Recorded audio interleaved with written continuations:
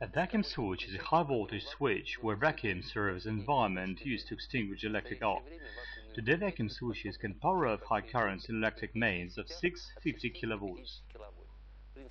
The operation principle of the switch is very simple. When the contacts are open, the switching current induces an electric charge in the vacuum space. The electric charge in effect an electric arc sustained by the metal evaporating from the surface of the contacts to the vacuum space. The plasma generated by the ionized metal vapors conducts electric current, which is why the current flows between contacts until it passes through zero.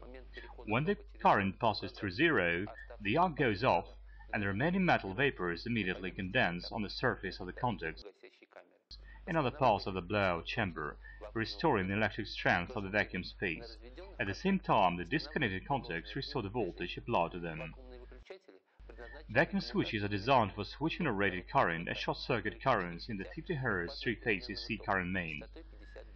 They're used in outdoor and indoor switchgears, traction substations of electrified railroads, as well as in frequent switching in electric heat installations.